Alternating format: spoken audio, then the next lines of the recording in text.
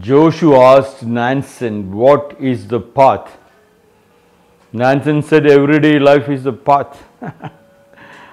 it's almost like asking what is breathing and what is taste, what is seeing, and what is hearing. Everyday life is the path. If you understand, if you want to understand that, you have to make sure that every day morning when you get up, your nostril blood is very, very important. Before you go to write the examination, nostril blood is very important. Before you eat your food, your nostril blood is very important. Before you go to the toilet, nostril blood is very, very important. Clearing the path. Once you have cleaned your path, the, what is the path? Everyday life, this is your everyday life. If you clean this path, only on this simple exercise of the nostril blowout, you do it taking the mudra and then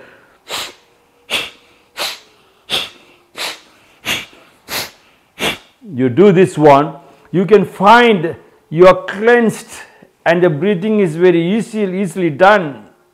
And you eye power increases, hearing power increases, cells lying idle in the brain starts waking up and slow learners become fast learners and for every question there is an answer. Answer flows of its own before you see the answer, before you see the question.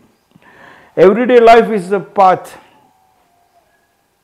Once you know that you have to train your body, which is given the power, and then you make sure that the stomach carbon dioxide is pushed out, you do the do this 30 times, 200 times, you can find the gastric problems is solved. Sugar patients, their pancreas gets activated, and when you activate your pancreas, Mahatma Gandhi said, provoke till they respond. And when you provoke the pancreas through the Kapalabhati, pancreas will be forced to release funds, government will be forced to release funds, and pancreas will be forced to release insulin. And when government releases the funds, poverty is down. When the insulin is released, sugar level comes down. What is the path? Everyday life is the path. That every day, without change, you have to make sure that you sweat. You do your work at home, clean up the house, light the lamp.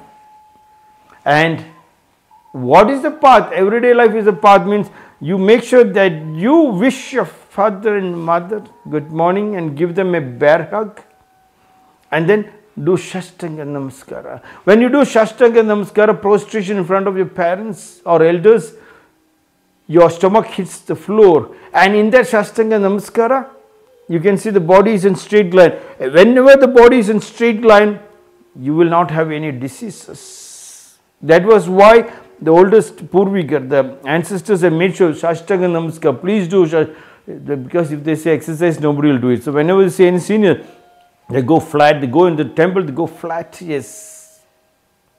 And there won't be excess fat in the stomach, visceral fat, yes. Stomach will be flat. When stomach is flat, you feel very, very energetic. Joshua asked, can it be studied? Everyday life is a path. Can it be studied? Nansen said, if you try to study, you will be far away from it. when you walk the path when you do it, if you try to study what is taste, no, no. When you chew it, you know. When you chew every water, you can see the electricity starts penetrating into your ears, into the eyes, into the brain. People forgot that, that water is electricity and it can charge the whole body. If you try to study, you will be far away from it. One day the centipede was walking and the fox called centipede. Centipede, centipede. And centipede said, What fox? Fox said, Can I ask you a question? And centipede said, Please, fox, I know you are cunning. Please do not ask me any questions. fox said, Please, centipede, one. Just one question. I'll leave you off. And centipede said, What? And Fox said, Centipede, I was always wondering how that you are having thousand legs. And Centipede said, Thousand legs? I never studied that I had thousand legs. Everyday life is a path. Can it be studied? Nansen said, if you try to study, you'll be far away from it. And Centipede said, oh, I never knew I had thousand legs. Then the fox said, Centipede, one more question. I was wondering, I wanted to ask you, how you are walking with thousand legs? And Centipede said, oh, I never thought about it. It just happened. The taste happens of its own. The look happens of its own. Yes. I was in an engineering college uh, program and uh, there was a psychologist who came on that day and he was giving a big lecture.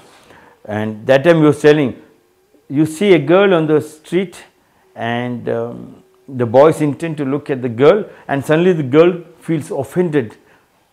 Please try to understand the boy must, must have seen his sister or cousin sister almost looking the same face style. So he must have looked at you. Don't think every boy is looking at you for something uh, sexual because it is his mother's face or auntie's face or that look must have attracted.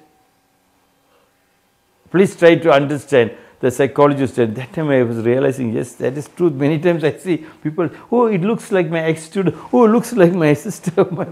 Yes sometimes you intend to look. Nansen said if you try to study you will be far away from it. Centipede said oh I never thought how I am walking thousand legs. And then the fox continued Centipede one more last question. And Centipede said what? He said can you tell me which leg you put forward, right leg or left leg?